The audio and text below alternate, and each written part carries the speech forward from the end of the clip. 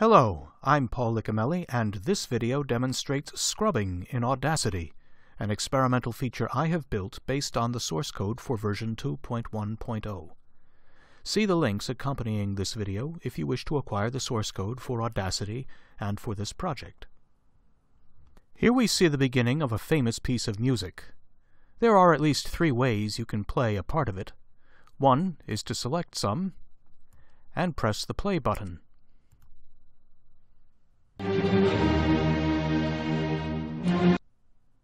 Another way is to make a selection and press the other play button here.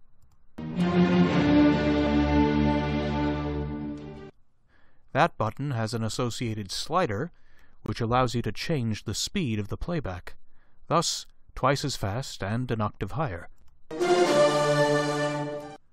Let me change that back to normal now. Yet another way is to click, drag, and release up here in the time ruler.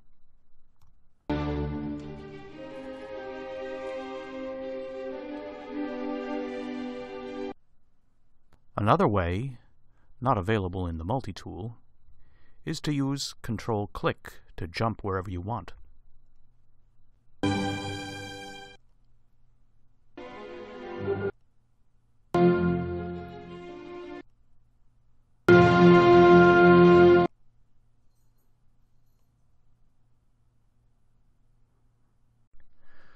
Well, scrubbing gives me yet another way to play some by clicking and dragging with the mouse in the wave area. Play begins wherever I click and continues until I release the mouse or until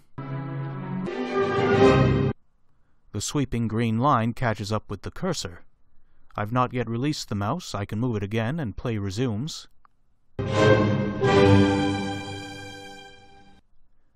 and play can even go backwards.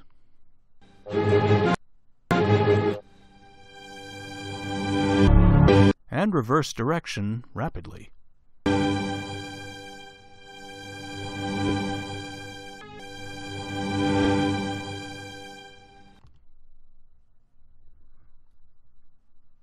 Notice I did not add any buttons to the Tools toolbar here. Scrubbing is available whenever you're in the Multi-tool, as now, or in the Selection tool. Scrubbing uses the middle mouse button, which was not previously used for anything else in those tools, so there is no conflict with the left mouse button. The middle mouse button may not be most convenient on all computers, such as laptops with touchpads with only two buttons, but I've found it is very convenient with a mouse like mine, in which the middle button is also a scroll wheel. As you may know, the scroll wheel in Audacity already lets you do this. Change magnification if you hold the control key as you roll the wheel. Well, you can do that as you scrub.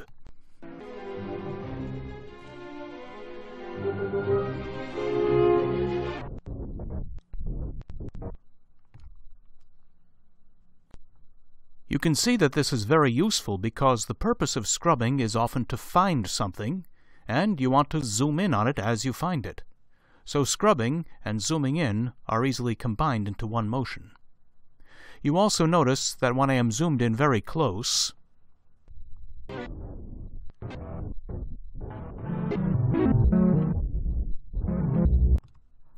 Playback may be at less than normal speed because the green line is catching up to my cursor most of the time.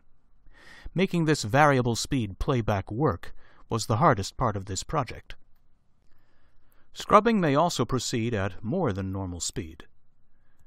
Let's change this slider to 2. Now listen.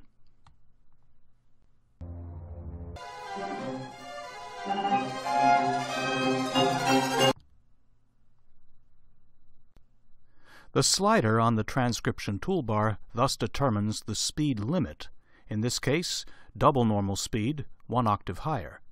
But that's only the speed limit that applies when you begin scrubbing. You can change the speed limit during the scrub, again with the mouse wheel, if you do not hold down the control key. So listen to this.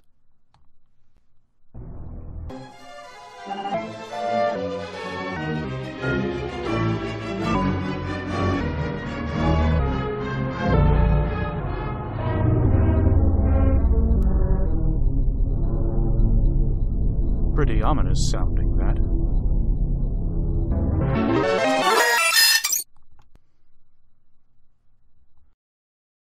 Thus you see, whenever you change the maximum speed, it appears briefly in red.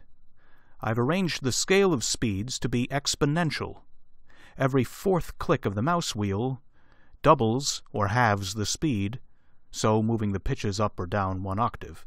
Every single click moves you three semitones. Thus I have a way to pass quickly over things that are less interesting, and slow down when I think something needs more attention.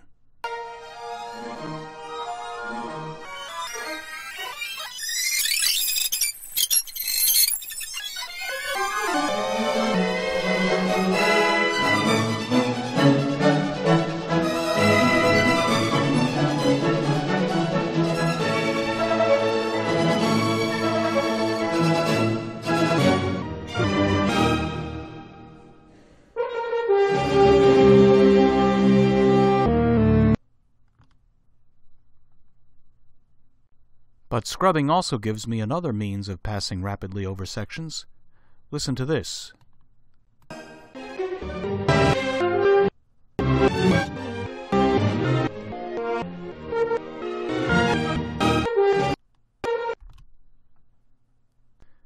That's what happens if you hold the Shift key as you scrub. Then the speed limit is ignored, but what gets played back, though at normal speed, is many small slices of the audio, and always something very close to the cursor. The green line never lags it very far. This is similar to the Seek button on a CD player. It's also possible to press and release the shift as you go, thus alternating between the two kinds of scrubbing.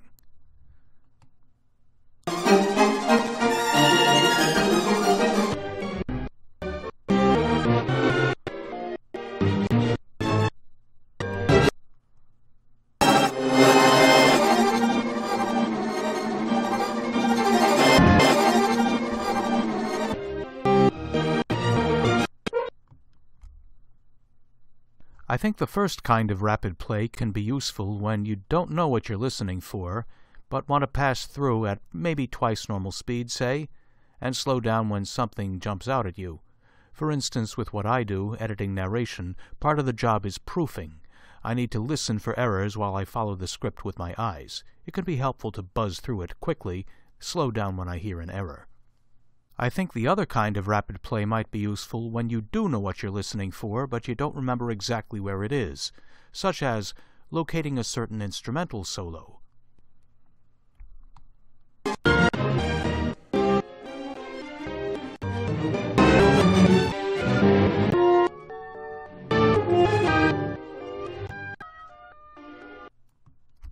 Wait a minute.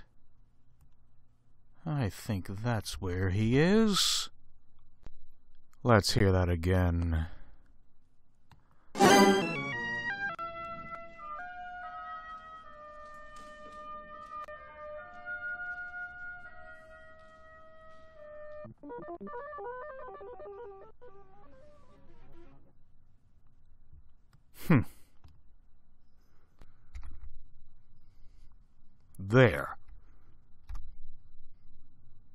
And so you see, using the middle mouse button, the scroll wheel, the Shift key, the Control key, and the existing slider on the transcription toolbar, I've put together what I hope is a very versatile and convenient navigational aid. Well, that sounds like the concluding chords of this demo.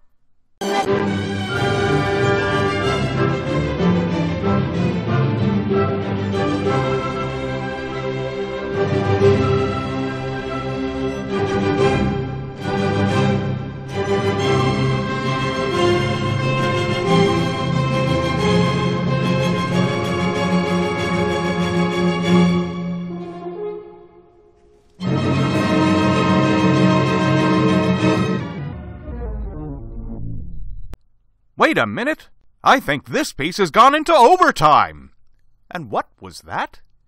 Can we have the instant replay on that, please?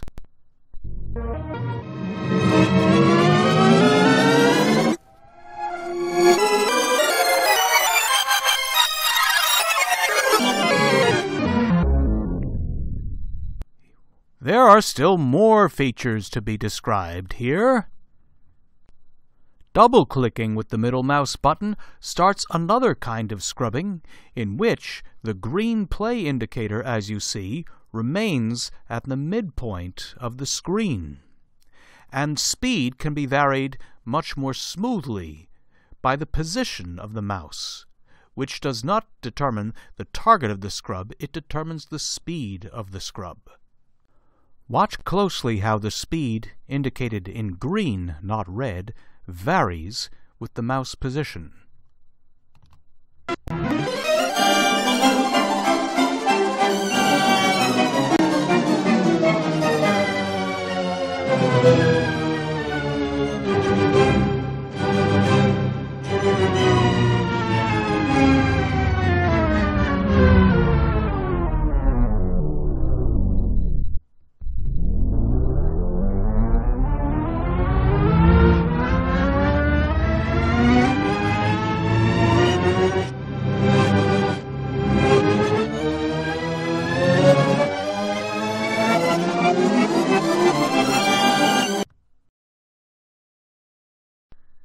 Did you notice there are broad areas at the two extremes where you can make the speed equal to 2, which is the maximum currently set by the transcription toolbar slider. And there's a broad area in the middle of the right half and the middle of the left half, where you can easily hit speed of 1. Let's see that in action again.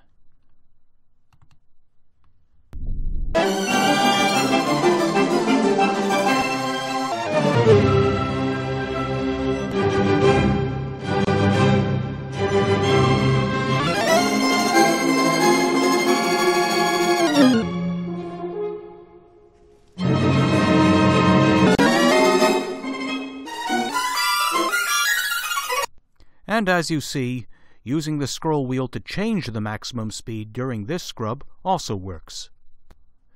Double-click scrubbing also works with the Shift key down, and this makes it much easier to skip through the track at a uniform rate, because the amount that you skip depends upon the distance between the mouse and the playhead, the green line, which remains still so you can easily move farther from that line to accelerate the rate of skip and move back to decelerate and hold steady to skip at a constant rate.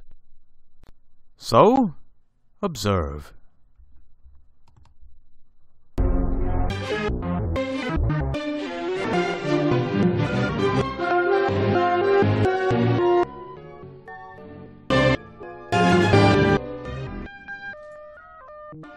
I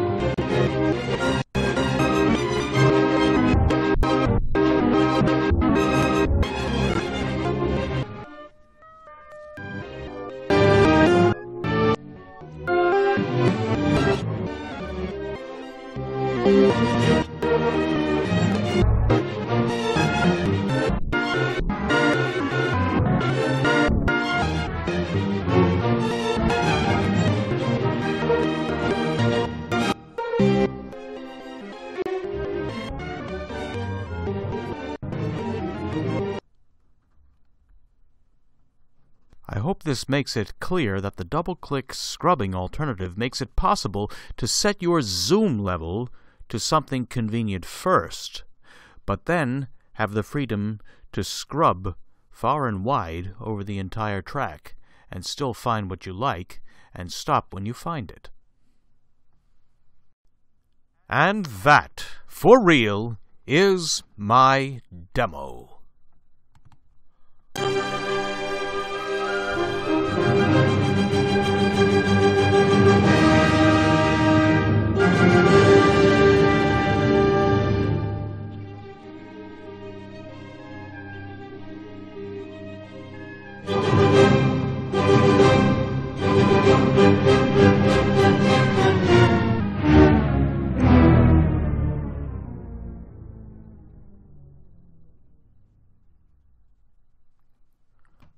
Thanks for listening. And forgive me, Ludwig.